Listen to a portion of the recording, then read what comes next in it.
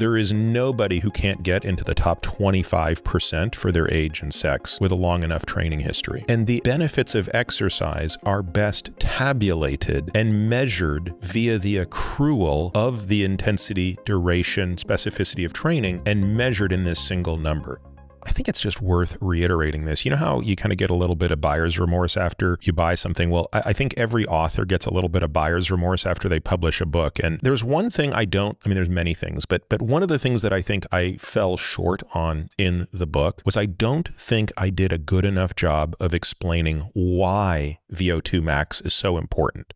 In other words, I gave the data, right? The data are unambiguous. You know, the association between uh, high VO2 max and longevity is so clear. And conversely, the association between low VO2 max and mortality is so clear that the idea that VO2 max is the single greatest predictor of lifespan of any measurable number we have um, is, is quite remarkable.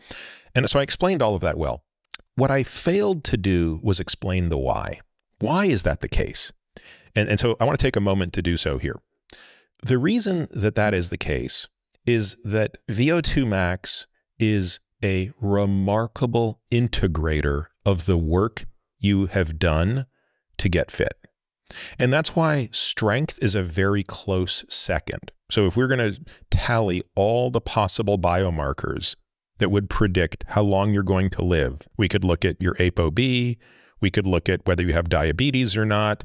We could look at your testosterone level, your cholesterol level. I mean, we could look at every imaginable thing, how much muscle mass you have, what your BMI is, all of these things.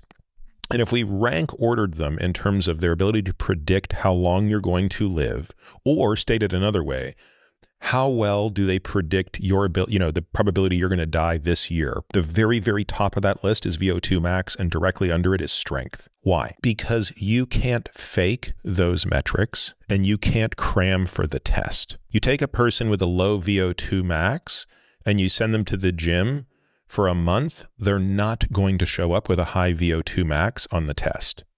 When someone shows up with a very high VO2 max, which by the way, anybody can have, Yes, genes play a role, just as they play a role in strength and everything else. But there is nobody who can't get into the top 25% for their age and sex with a long enough training history. And the benefits of exercise are best tabulated and measured via the accrual of the intensity, duration, specificity of training and measured in this single number. So in that sense, you know, for math geeks out there, VO2 max is the integral from T1 to T2 of work as a function of time dt. And that's a big dt to get a high VO2 max. The same is true with strength. When we talk about how grip strength and leg extension strength and all of these metrics of strength are so highly correlated, it's the same thing. You can't take someone who's not strong and make them strong in a month. And yet think about how easy it is to tweak your vitamin D level in a month. Like it's trivial, right? So that's why I look at all of these bio-aging clocks that have all these goofy little biomarkers that are so easy to manipulate. And I think this stuff's categorically useless. A real demonstration of your longevity prowess is going to be far more likely found in, in, in variables that can't change readily. And again, these are these are two of the greatest. So looking looking at this graph here, and I realize that there are many people listening to this, so I'm not going to kind of belabor this point, but we'll obviously make the all these figures are available in the notes. But but this to me is is a fantastic benchmark for a person who wants to understand where they stack up. So it's a figure that divides men and women by decade of life into five categories low, below average, above average, high, and elite, which is the ranking assigned to their VO2 max. Low is the bottom 25%, below average is the second quartile, above average is the third quartile, and high and elite together form the top quartile, where elite just carves out the top 2.3%.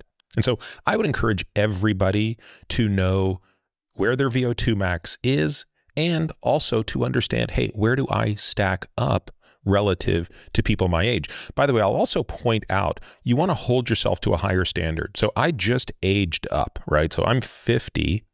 And you'll notice that at 49, when I was at the top of my age range, an elite VO2 max was above 52, whereas at the age of 50, and from age 50 to 59, it's greater than 50. Uh, and this is again in, millil- in milliliters per kilogram per minute. Um, well, as a 50 year old, knowing that I need to be in this age bracket for another decade, I am not holding myself to the standard of just being at 50, right? Like I want to be a couple decades beyond that. I want to be in the elite level for someone in their 30s, which would be north of 53. And that doesn't sound like much, but that's a pretty big difference when you consider that this number is going down at about 8 to 10% per decade, depending on your, your training volume. So again, very clear way to know how you stack up. And again, uh, you know, it's, it's, probably a little less important where you are in the moment and more important, uh, you know, in terms of the trajectory you're heading in.